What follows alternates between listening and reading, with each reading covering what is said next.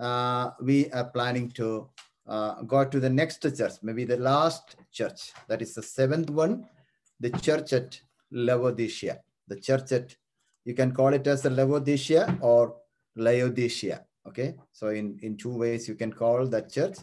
In Malayalam, it is Laodicea, but in English, uh, Laodicea or Laodicea, you can call it. Okay, so, so that is from book of Revelation, chapter 3, verses 14 through 22.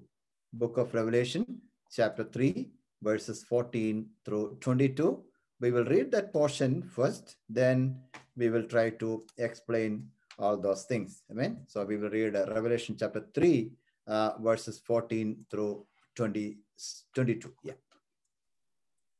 And to the angel of the church in Laodicea write, the words of the Amen and the faithful true witness, the beginning of God's creation. I know your works. You are neither cold nor hot. Would you would that you either cold or hot? So because you are lukewarm and neither hot nor cold, I will spit you out of my mouth. For you say, I am rich, I have prospered. I need nothing, not realizing that you are wretched, pit, pitiful, poor, blind, and naked. I counsel you to buy from me gold refined by fire, so that you may be rich, and white garments, so that you may clothe yourself, and the shame of your nakedness may not be seen, and slave to anoint your eyes, so that you may see. Those whom I love, I reprove the discipline. So be zealous and repent. Behold, I stand at the door and knock. If anyone hears my voice and opens the door, I will come in to him and eat with him, and he with me. The one who conquers, I will grant him to sit with me on my throne, as I as I also conquered and sat down with my Father on his throne. He who has an ear, let him hear what the Spirit says to the churches. Very good. Thank you, Elsa. And so this is about the seventh church of the Asia Minor, that is the church at Laodicea from Revelation chapter 3, verses 14 through 22. So I think uh, we'll be able to complete chapter 3 and the study about the seven churches of Asia Minor today itself. And uh, we will be uh, just moving into the fourth chapter next week onwards. So uh, when we think about the church at uh, Laodicea, we understand this is the church which is known as the lukewarm church. Okay, there are there are three names you can give for this church. That is the lukewarm church and also the rich and the poor church. The rich and poor church and the lukewarm church. Okay, so we will be uh, going into that portion uh, maybe later. Now, the first point, the first I mean, point number A is uh, uh the city where the church was located. So this is the system that we are continuing for every churches. You know, we have been studying, uh, uh, uh I mean, first uh, the, the, the, the city where the church was located. So here also, we are coming to that point, the city where the church was located. That is the point number A of uh, uh, the study of the church at Laodicea. Okay, so you can you can get one I mean picture of the ancient uh, city of Laodicea. This is the this is the sorry this is the modern uh, modern picture of uh, the city of Laodicea. Uh, you can see that uh, in the in the screen now. Yeah, this is the I mean Laodicea city. this is the modern city. the ancient city was different. Okay, so now um, you may be actually you may be I mean having a question in your mind that in order to study the message uh, message to the church. Okay, now we are studying about the message to the church. Now you may be asking one question: Why should we discuss about the about the city where the church was located and what to how what is the need of the study of the uh, historical and geographical backgrounds of the places? Okay, maybe etc. Okay, uh, that question may come into mind that why should we study about all these things? When we when we go through the uh, messages to the churches. So Jesus is giving uh, uh, special messages to the each church and why we should study and why we should discuss about the uh, historical background and geographical background and uh, what is the what was the city the situation of the city where the church was located So I will tell you why we are doing in that way. The reason is, you know, each word that Jesus is using here, when he is speaking to each church, is very important. And those words are really closely related to the culture and the government and the belief systems and also the geography of that city. You know, when you study about each churches and the messages which was given for each churches, you will understand that Jesus is using some kind of words and some kind of phrases in that message. So when he is uh, speaking that word or that, I mean, speaking that message to that, I mean, church, it is very important uh, that uh, that words are really close related to the culture and the government and the belief system and the geographical uh, situation of that city. So that's the reason that we are emphasizing in in the eh, eh, I mean studying about the city where the eh, church is located. So we will go to the uh, explanation about the the specialities of the city of Laodicea. Okay, now the city of Laodicea is around 40 miles away from Philadelphia. So we have been studying about the city of Philadelphia and the church of Philadelphia. Now we come to the next and the last church, that is the Laodicea church. So this city is around 40, it is, is away from 40 miles away from Philadelphia. And also, what is the old name of this city that is there? Okay, Diapolis, Diapolis is the old name of this city. But what happened in BC 250, Antiochus II, Antiochus II, he rebuilt the city and he renamed, I mean, as Laodicea. Okay, so it was in, in the beginning, it was known as the, uh, I mean, uh, Diapolis. Then after that, in BC 250, Antiochus II, he rebuilt the city and he renamed as Laodicea as a token of his love towards his wife, I mean, Laodice. Okay, Laodice was the, I mean, uh, wife of uh, uh, Antiochus, and he also was renaming uh, her name to the city of Laodicea. Okay, and now that city of Laodicea is one of the one of the three cities at the side of the Lycus River. There was a river called Lycus River, and this city, or I mean, uh, the, the city of Laodicea is one of the three cities at the side of uh, Lycus River, and the other two cities are uh, Colossae and Hierapolis. Okay, there are two more uh, two more cities nearby the city of Laodicea and the nearby the side of the river Lycus, that is uh, Colossae and Hierapolis. Then again, one more thing, the city was a banking center. The city was a banking center. You know, when I say that uh, the, the city of Laodicea was a city which was a center of banking, that means uh, which shows about the wealth of that, I mean, area, uh, the, the wealth of that uh, city. So the people, those who were staying in, in, living in that city, they were very rich and they were very wealthy people. So we'll be uh, studying about all those things in the in the in the later maybe when we study about the messages uh, to the church at Laodicea. So we are going fast, little more fast. Uh, okay, and the city was one of the richest cities of Asia Minor. It is known as the richest cities of the Asia Minor. And also the city was a center of clothing industry. The city was a center of clothing industry. Later you will understand why we are studying all these things or the, the, the historical background of the city. And again, one more thing is that the city was a center of ancient medicine and the uh, manufacturing of a special kind of uh, kind of eye salve. Eye salve. You can, you can call it as eye salve. Okay. So, you know, this city was famous for the center of the ancient medicine and also manufacturing of a special kind of eyesalve. Okay, uh, eyesalve in Malayalam, uh, you can uh, uh, call it as a labum. And then a kandil kandil puratuna labo, other anamalatilla than the Kurtrikina, walk, isalve, anola, walking. Okay. Anyway, the other thing, eh, the other speciality of this city was, um, you know, the pure and cold water was available in Colossae, the city of Colossae, the Colossae is the uh, nearest city of uh.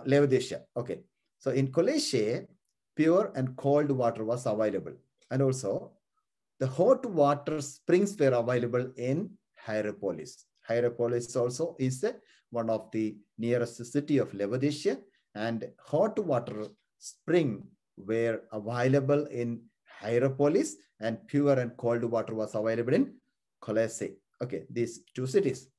But the interesting thing is in Laodicea, the pure water was not available.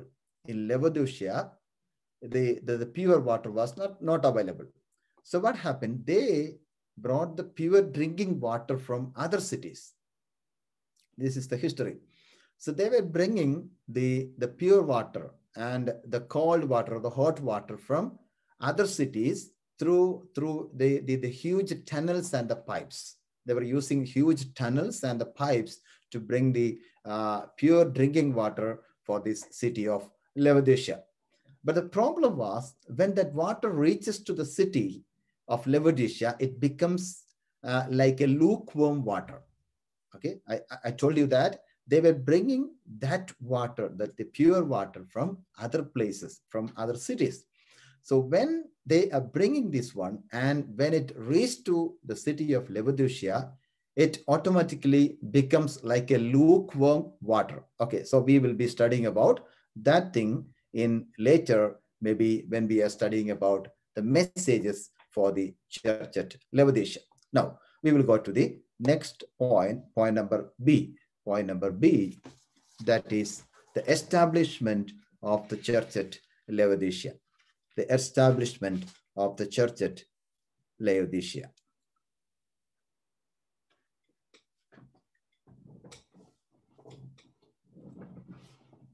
Okay.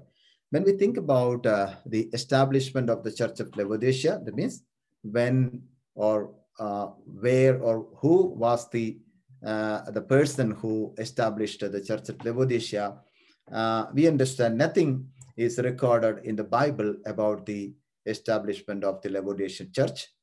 But at the same time, some of the scholars they believe that Apostle Paul uh, was the uh, was the establisher or the uh, he Apostle Paul is the person who uh, planted the church in that city uh, while he was visiting and ministering in Ephesus, and he also visited and planted a church in Laodicea. Okay, so this is what uh, some of the scholars are believing. Uh, but uh, the second thing is the other, the another group of scholars, the another group of scholars, they believe Epaphras, Epaphras was the uh, was the person or was the minister who planted the church at Laodicea that we, we read in Colossians chapter 1, verse 7. Colossians chapter 1, verse 7. We'll read that verse. Just as you learned it from Epaphras, our beloved fellow servant, he is a faithful minister of Christ on your behalf. Okay, so uh, uh, here Apostle Paul says that, okay, uh, uh Epaphras was a close person and close minister of uh, Apostle Paul. Uh, that means he was associated with, I mean, Apostle Paul. So some people believe that Epaphras was the person who planted the church at Laodicea because uh, once again in, in, in Colossians chapter 2, verse 1, Colossians chapter 2, verse 1, uh, there we see that Paul, when he is writing to the Colossians, uh, the, the, the uh, the uh, epistle of Colossians is written for the, Colo the people of Colossians. And when Paul was writing uh, his letter to the Colossians, he said, uh, for you and for those at Laodicea and for all who have not met me personally. Okay, it is particularly written that I'm writing this letter uh, and uh, I'm greeting you all the people, those who are at Laodicea, and also for all who have not met me personally. That means they, the, the, a group of people, they didn't have any uh, personal, I mean, uh, encounter or personal relationship with the, I mean, Apostle Paul. So that is the reason that uh, some of the scholars says that uh, the people of Laodicea are not familiar with Apostle Paul. That means uh, it is not Apostle Paul who planted the church at, uh, I mean, uh, Laodicea. It was Epaphras. Anyway, there are two kinds of opinions about uh, the establishment of the church at, I mean, Laodicea. And also when we read Colossians chapter uh, 4, verses 13, 15, and 16, we will read that verse also. Uh, Colossians chapter 4, verses 13, 15, and 16. Yeah. For I bear him witness that he has worked hard for you and for those in Laodicea and Hierapolis. Give my greetings to the brothers of Laodicea and Nympha and the church in her house. And when this letter has been read among you, have it also read to the church of the Laodiceans, and see that you've also read the letter from Laodicea. Okay, so uh, when you read these verses, we understand uh, uh, we understand both the people of Laodicea, uh, uh, the church, and also the people of Colossian church had a close connection in spiritual activities. That means they had a spiritual connection between the people of Laodicea and also the people of uh, Colossia. Okay, so uh, both of the churches were having a link and they were having a connection in the spiritual activities and their letters, which was written by Apostle Paul uh, to the Colossians, also were read in the church at Laodicea. That is what we understand from this portion. Okay, so these are the things that we understand from the uh, about the establishment of the church at Laodicea. Okay, now we will go to the uh, point number C. Point number C, that is threefold titles of Jesus, threefold titles of Jesus in Revelation chapter 3, uh, verse 14. Chapter 3, verse 14. Yeah, can you read that verse once again, uh, Elsa? And to the angel of the church in Laodicea write, the words of the Amen and the faithful and true witness, the beginning of God's creation. Okay, you can just note down those points. At the same time, I'll be, I mean, trying to explain the points. Then only we'll be able to, I mean, uh, complete that portion. Okay, so uh, here in this particular verse, verse 14, we see there are threefold titles of Jesus. That means Jesus is introducing himself in three ways to encourage them.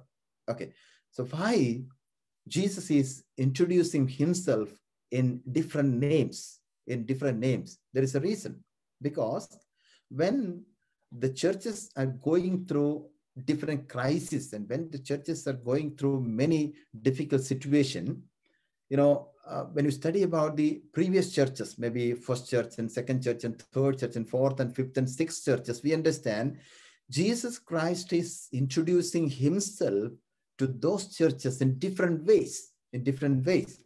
Okay here jesus is introducing himself and giving three titles for himself. The first one is the faithful and true witness. The faithful and true witness. This is the first title because that shows i mean he says that I, i'm the faithful and the true witness. That means you are receiving this message even though it is written by apostle uh, apostle john jesus himself is giving that message to john. Okay so he introduced himself that i am the faithful and true witness. Jesus says i am the faithful and true witness which shows jesus is the real genuine and faithful witness. Jesus is the real, genuine, and faithful witness. For example, we will read, uh, I mean, two verses. One from Second Timothy chapter 2, verse 13, 2 Timothy chapter 2, verse 13, then John chapter 14, verse 6. Yeah. If we are faithful, faithless, he remains faith, faithful, for he cannot deny himself. John chapter 14, verse 6.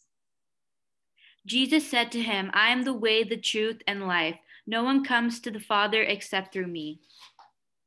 Okay, so that, that that shows that you know sometimes we are unfaithful, we are we are not faithful or we are unfaithful, but Jesus remains always faithful. That means Jesus is the real person and he's the genuine person and he is the faithful witness of God. Amen. So that is the first introduction about Jesus or title about Jesus. And the second one is the beginning of the creation, the beginning of the creation, the beginning of the creation.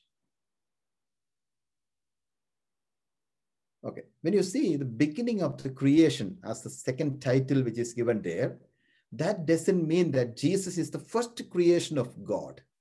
Okay, some people say that Jesus is the first creation of God, just like maybe maybe uh, you and me. You know, I am the creation of God. You are the creation of God. So some people say that okay, Jesus also is a creation, or Jesus also is a creature of God. That means Jesus is not God. But absolutely that is wrong. Jesus is God. Jesus is God. Okay. So we understand when it says that he is the beginning of the creation, he is the beginning of the creation. Okay. When we say that he is the firstborn of the creation, that doesn't mean that Jesus is the Jesus is the creation of God. Rather, he is the beginner of all creation. You understand one thing? He is the beginner of all creation. He is the beginner of all creations. To understand that, I mean, particular portion, we have to, we want to go to John chapter 1, I mean, uh, verses 1 through 3. John chapter 1, verses 1 through 3, and then Hebrews chapter 1, verse 2. That verses very clearly says that Jesus is the beginner of all creation. Yeah. In the beginning was the Word, and the Word was with God, and the Word was God. He was in the beginning with God. All things were made through him, and without him was not anything made that was made. Hebrews chapter 1, verse 2. But but in these last days he was spoken to us by his Son, whom he appointed the heir of all things, through whom also he created the world. So these two verses or these verses speaks, I mean, very clearly says that, okay, I mean, this, I mean, the beginning of the creation doesn't mean that Jesus is the creation of God or Jesus is the first creation of God. Rather, he is the beginner of all creation. Amen. So now we will go to the third uh, title of Jesus Christ and how Jesus is introducing himself uh, and in, in third point, that is the Amen. Point number third is the Amen. Now that is what we read uh, in that verse to angel of the church in Laodicea, write the Amen, the faithful and true witness, the beginning of the creation of God. The Amen. What is the meaning of that usage? The Amen. Jesus Christ is the Amen. Okay. Whenever we pray, we used to say, okay, Amen. That means after the prayer, we are just closing a prayer by saying amen. What is the meaning of that? The meaning of that amen is as it is or yes, it is like that only. And may it be or surely or certainly or unchanging and trustworthy. These are the meanings of that amen. Yes or may it be, surely, certainly, unchanging and trustworthy. That's what we read in Second Corinthians chapter 1, verse 20. Second Corinthians chapter 1, verse 20. For all the promises of God find their yes in him. That is why it is through him that we utter our amen to God for his glory.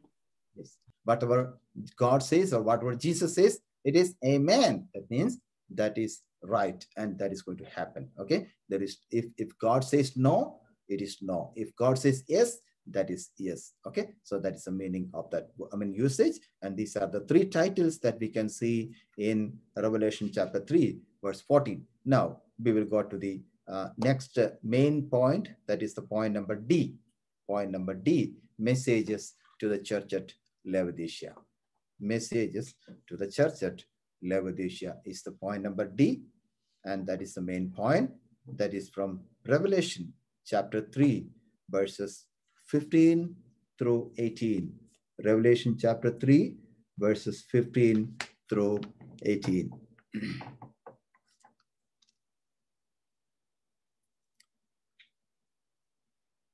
and under that, the first point, then maybe point number A, small a, okay? It's not capital A, but it is small a, is weak points. Weak points, okay? Whenever we were studying about the, the other churches, we have been studying about the weak points of those churches. Okay. Now here also, the church at Laodicea also is having mainly two kinds of weak points in their life in the in the church. So that is that is what we read in uh, uh, verses 15 through 17. Okay, 15 through 17. We can see that now we will go to the uh, what are the weak points of the churches. Okay, so we understand one thing.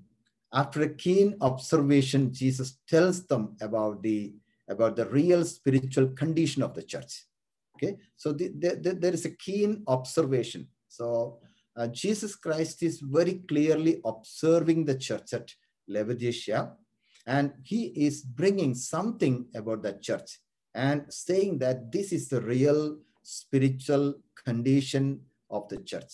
Okay, so uh, uh, the first one, the first weak point that is mentioned there is, I mean, you are neither cold or hot, but lukewarm, right? You are neither cold or hot, but you are lukewarm In, in verse 15, okay? I know your deeds, that you are neither cold nor hot.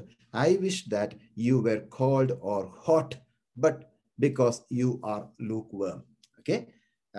ശീതവാനുമല്ല ഉഷ്ണവാനുമല്ല ശീതോഷ്ണവാനത്രേ എന്ന് പറഞ്ഞിരിക്കുന്നു okay you know actually uh, i need at least one hour to explain this point so i'll be uh, i mean uh, I, will be doing or i'll do one thing i will just give the point then uh, if uh, time permit then i will preach a sermon on uh, this point in any of the upcoming sundays otherwise it is not easy to finish that point uh, within this, I mean, uh, maybe half an hour or something. Okay, so we will leave that point. Just I'll give you the points only. Then after that, if if if uh, I mean God allows, we will be thinking about that point in one of the Sundays Uh, in upcoming days. Okay, so the second uh, weak point of the Laodicean church is uh, self-sufficiency. Self-sufficiency is the second um, I mean, weak point of that church. Okay, so that is from chapter 3, verse 17. Self-sufficiency. That is the that is the second weak point about the church at uh. That is from chapter 3, verse 17. Uh, can you read that verse, uh, just 17 verse, Elsa? For you say, I am rich, I have prospered, and I need nothing, not realizing that you are wretched, pitiable, poor, blind, and naked. Okay, in, in different uh, translations, it is, there are different, uh, I mean, words are used there, but even all the words are same meaning. Okay, now we will go to the, uh, the first, I mean, the first thing about the self-sufficiency is they were proud about their financial wealth. They were proud about their financial wealth. Okay how can we say that they were they were proud about their financial wealth? So uh, jesus says that okay that is one of the one of the weak point of your church. What is that they were proud about their financial wealth that means they believed that they are self-sufficient they believed that they are self sufficient. Okay, what happens when a church or when a, when a, when a person is just thinking that, okay, I'm self-sufficient. That means I don't want anybody's help or I don't want, I mean, God's intervention in my life when I'm enough and I don't want anything or anybody to help me or to support me. Uh, so that was the situation of that Laodicean church. They were believing that they are self-sufficient. And again, they says they are rich. Okay, in the same verse, it is there. They are rich. The next thing is they think they have become wealthy. They think they have become wealthy. And the next one is they think they have need of nothing. They think they have need of nothing. But the interesting thing is the Spirit of the Lord is clearly saying one thing in that particular verse that they think that they are self sufficient, they think they are rich. They think that they have become wealthy people and they think they have need of nothing. But they are not knowing that they are wretched, miserable, poor, and blind and naked. This is very seriously we have to think about. You know, those people, the people of the church at Laodicea, they were thinking that they are rich and they are wealthy and they they have need of nothing and they are self-sufficient everything. But the spirit of the lord is saying that after the observation or jesus says that okay you are not no you are not knowing that you are wretched you are miserable and you are poor and you are blind and you are naked. Okay these are the things that we can understand from the first thing that they were proud about their financial wealth financial wealth the second the next one is they were proud about the clothing trade. Listen they were proud about the clothing trade. That is the point number b. Or the second one they were proud about the clothing trade. Um, so I, I, as I told you earlier, the garments made there or in that city of Laodicea were famous over all the world.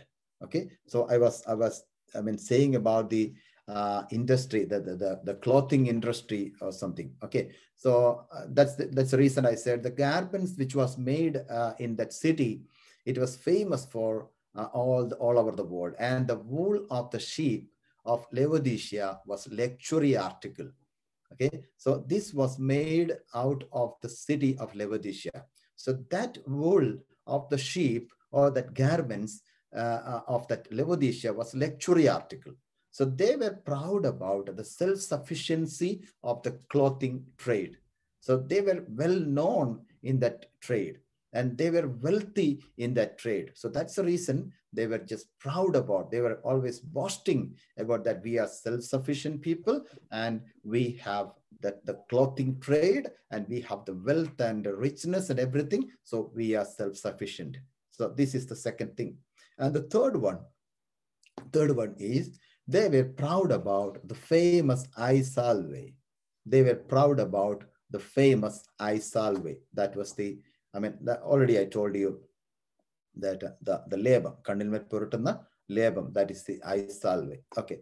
Uh, in the in the in the verse uh, it is there in the um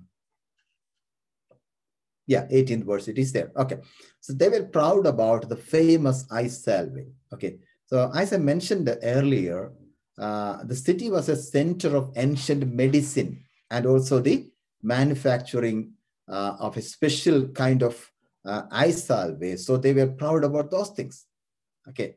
Uh, you know, one thing uh, I, I, think I told you uh, earlier, uh, they were just proud about all those things. Okay. They were saying that okay, we, we are the center of the ancient medicine.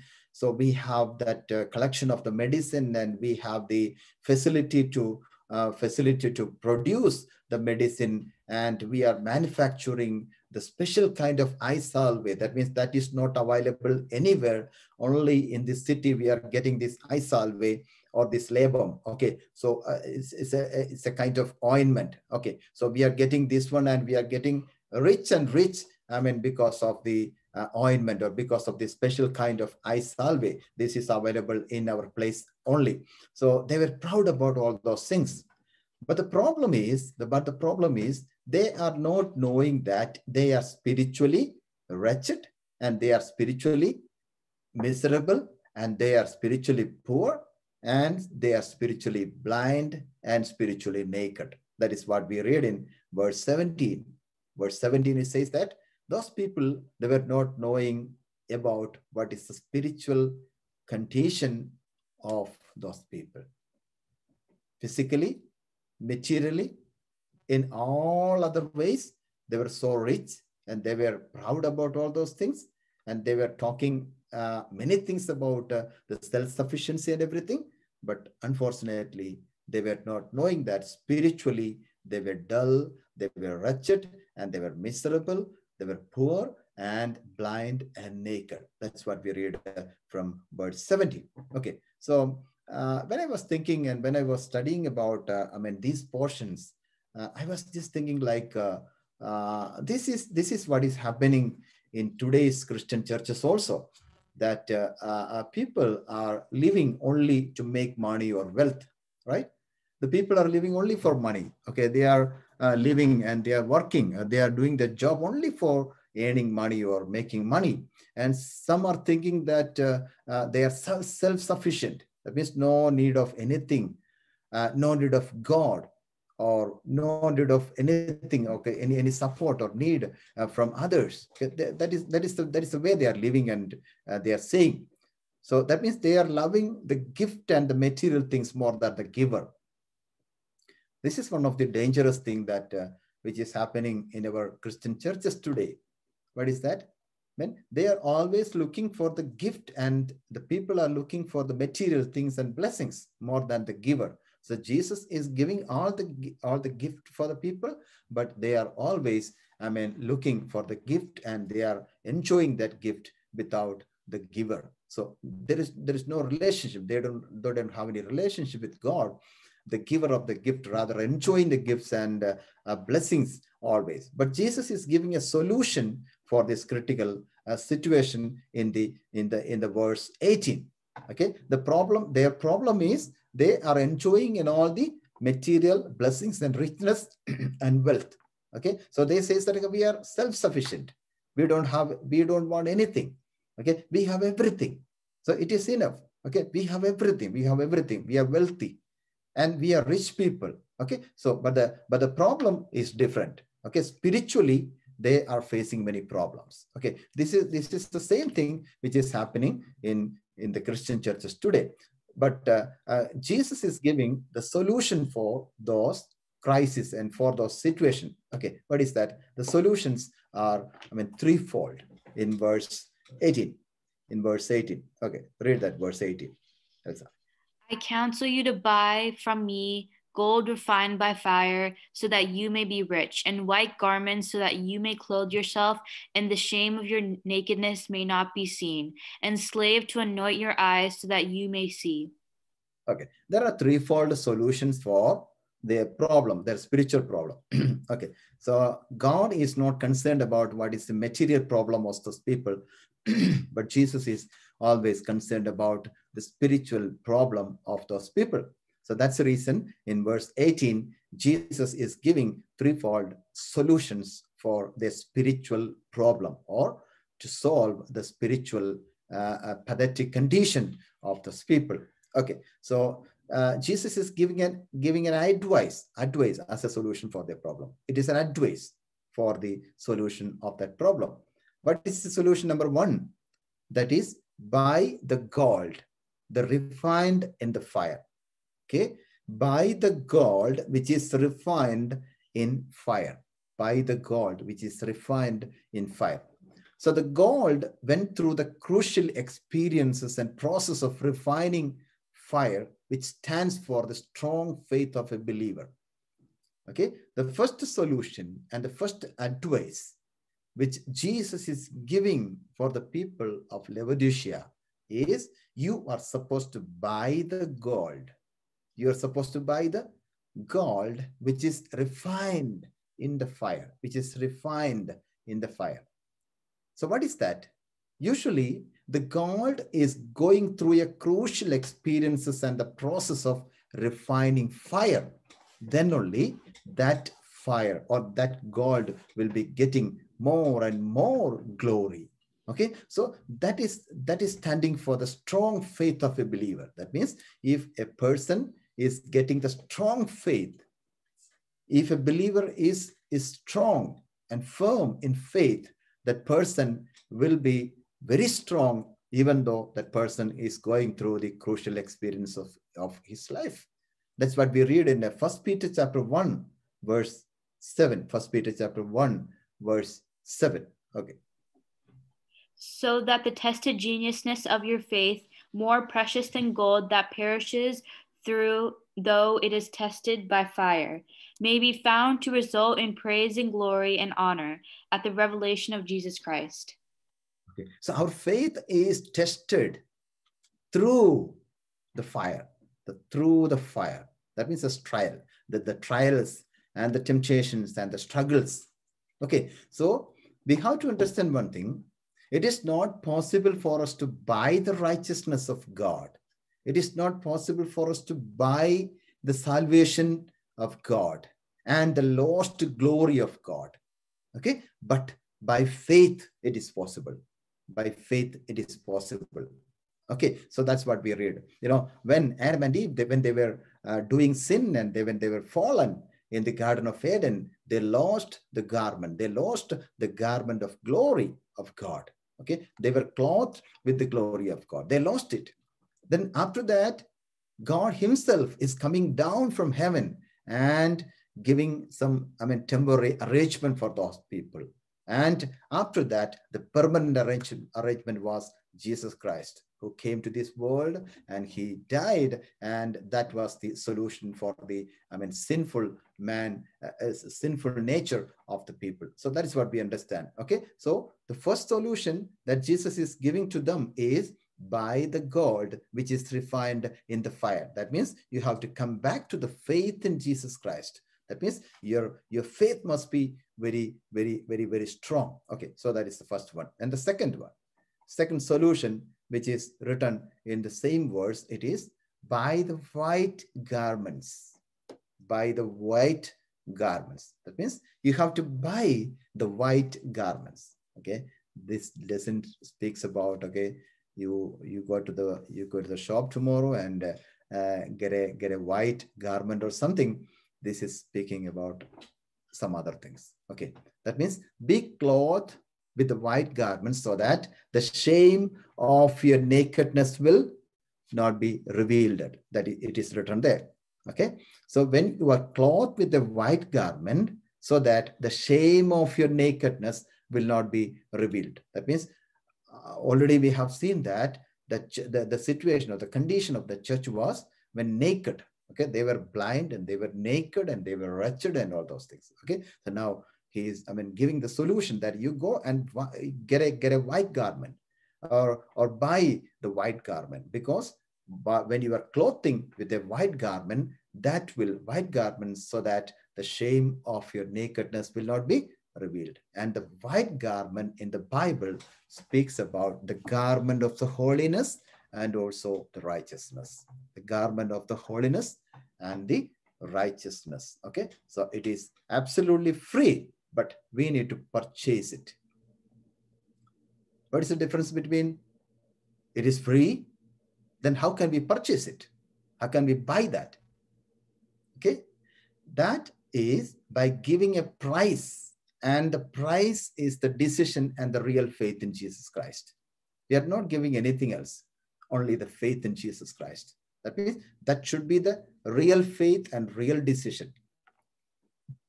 When a person is believing in Jesus Christ. Okay, faith and belief. That there is a, there is a difference between faith and belief. Okay, what is that?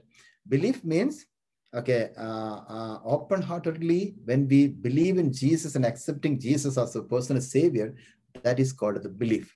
Okay, that we have to keep it until the death, and after that, then the second one, the faith is okay that we believe that okay uh, the faith means we believe that okay whatever god is promising for the people of god and he is able to do that and i will get it. That is the faith. Okay at the same time belief is the strong faith which we have in jesus christ okay so through the faith only we are that means we are we are i mean uh, buying or we are purchasing the holiness the garment of the holiness and the righteousness by faith we are giving the price only one price we are giving, that is the faith. Okay, just believing in Jesus Christ. And real faith will help you to get the garment of holiness and righteousness. Okay, now we will go to the third solution.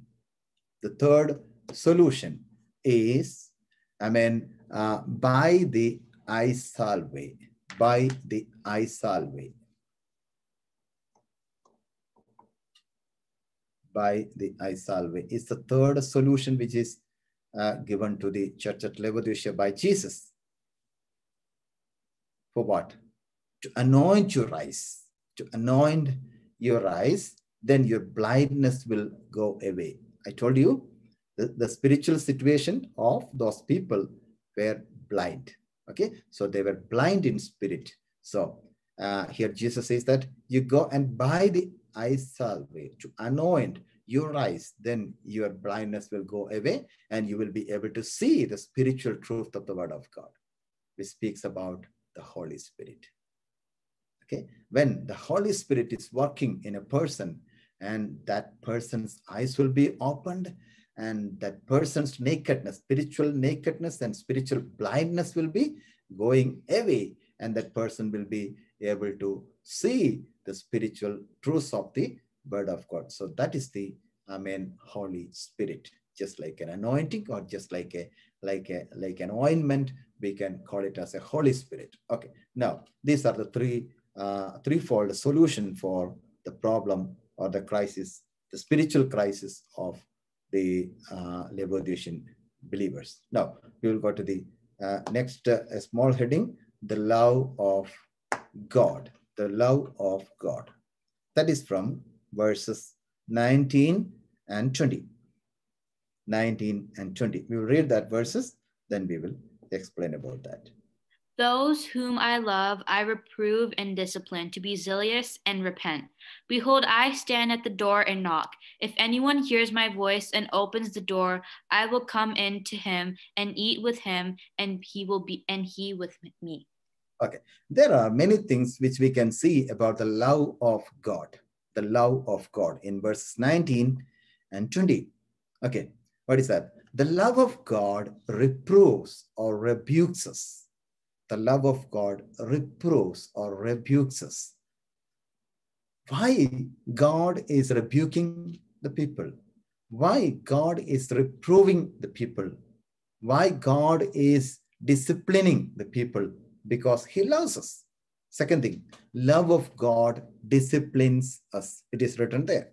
Love of God will discipline us. Third one, Love of God stands at the door of our heart. Love of God stands at the door of our heart. Fourth one. Love of God knocks at the door of our heart. Love of God knocks at the door of our heart.